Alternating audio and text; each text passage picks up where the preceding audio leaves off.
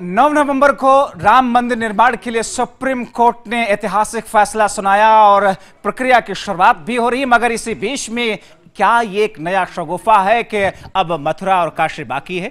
या फिर भारतीय जनता पार्टी, जो कि मौजूदा वक्त में आर्थिक बंदी हो या दूसरे सारे मुद्दे हो, जिस बीच में एक तरीके से देखा जाए तो विपक्षी पार्टियाँ उसे घेर रही हैं। डॉक्टर सुब्रमण्यम स्वामी की वो चिट्ठी, जो कि सरकार को आज लिखी गई, उसके मायने क्या है? उन्होंने कहा कि दरअसल उन्नीस सौ इक्यानवे के उस एक्ट में संशोधन किए जाने की ज़रूरत है, जिसमें यह माना गया था कि उन्नीस तक जो वर्शिप प्लेसेस जैसे थे, उसी स्थिति में रहेंगे सवाए अयोध्या को छोड़ करके, क्योंकि वो कोर्ट में मसला था। तो दरअसल ये चिट्ठी डॉक्टर सुब्रमण्यम स्वामी ने लिखी है सरकार को। हालाँकि डॉक्टर सुब्रमण्यम स्वामी कई बार भारतीय जनता पार्टी की लीक से हट करके लाइन से हट करके अपनी बातें कहते हैं। अब उनकी बात का कितना महत्व होता है, सरकार उनकी चिट्ठी पर किस किस्म का जवाब देती है, अलग बहस है। लेकिन इस चिट्ठी के मायने क्या है? लेकिन इस चिट्ठी के बाद में बीजेपी क्या कह रही है? सुनते हैं।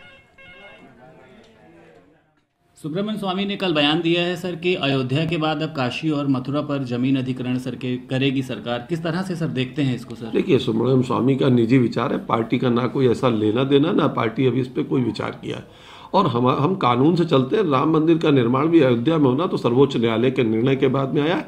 भारतीय जनता पार्टी का ऐसा कोई सोचना, कोई विचार इस तरह का नहीं चल रहा। ये सुब्रमण्यम स्वामी का निजी विचार है।